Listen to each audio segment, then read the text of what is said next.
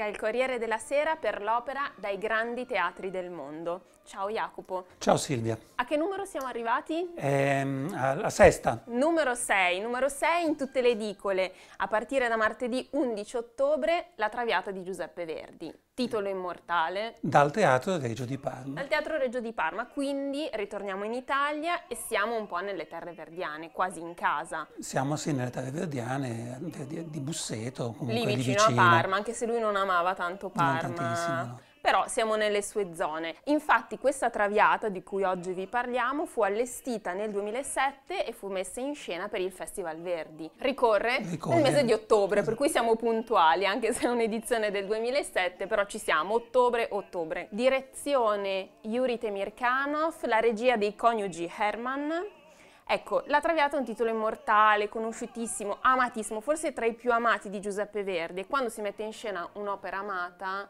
si corre sempre il rischio, perché le polemiche sono sempre feroci.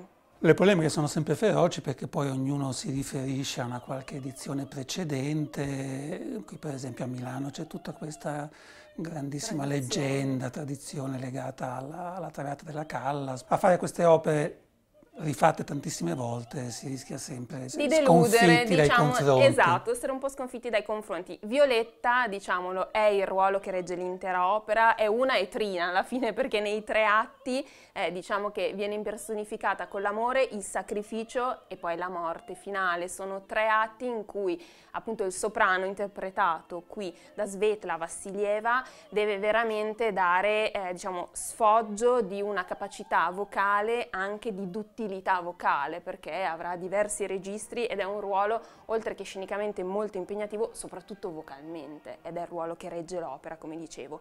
Di questa edizione però la regia dei coniugi Herman come vi dicevo è molto interessante perché è tradizionale per cui non troverete cose strane, non troverete, diciamo così, ammodernamenti o eh, l'opera non viene calata nella contemporaneità. Siamo a metà Ottocento, come era il romanzo. Al Reggio sono usi ammodernare?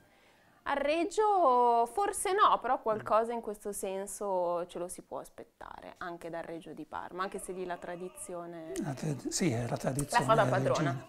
Però, oltre tutto questo, io quello che vi voglio suggerire è di ascoltare con particolare attenzione, io amo molto la direzione, cioè capire come un direttore d'orchestra poi agisce all'interno di, un, di un'opera lirica, è la direzione di Temir Kanov, che non è così uso a dirigere l'opera. Lui è un grande direttore sinfonico, però quando si mette a dirigere l'opera, diciamo che ha una profondità e un livello di lettura che è in grado di sorprendere sempre l'ascoltatore. Quindi lasciatevi sorprendere da questa traviata diretta da Yuri Temirkanov. Ti lascerai sorprendere? Ah, beh, ben volentieri. Bene, eh... quindi vai in edicola, l'hai già prenotato il tuo ah, numero? Ah, certamente. Benissimo.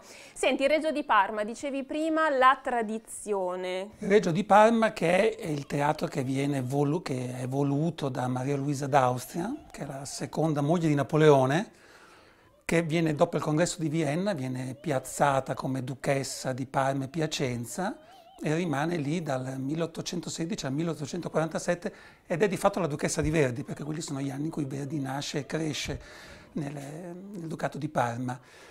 E Ed è quella che rende anche grande, internazionale quasi Parma sì, sì, sì, sì, esattamente. Tu sai che nel Reggio di Parma c'è stata una prima di un'opera verdiana. Oddio, questa non la so. La Giovanna de Guzman.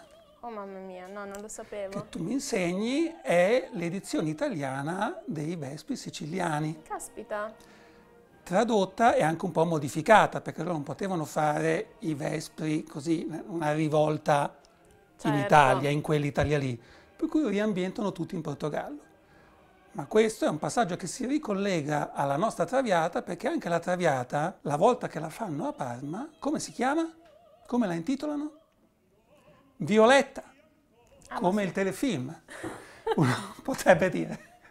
Perché comunque molto spesso le opere di Verdi venivano sì, modificate per motivi di censura e a maggior ragione una come La Traviata, no? l'unica opera che lui scrisse cercando di un'ambientazione sì, un contemporanea, Vene- un po' Venezia, coeva. Sì. Diciamo. Esatto, però a Venezia quando andò in scena fu proprio questo elemento di contemporaneità che non stava bene alla borghesia del tempo e quindi... Uno dei punti su cui battagliò di più, insomma. Esatto, infatti la prima poi non andò neanche tantissimo bene e poi è diventata il successo che noi adesso tutti apprezziamo. Al punto da pubblicare questa edizione. Quindi io vi ricordo tutti in edicola da martedì 11 ottobre La Traviata dal Festival Verdi di Parma, edizione 2007, direzione Yuri Temirkanov per la regia dei coniugi Herman.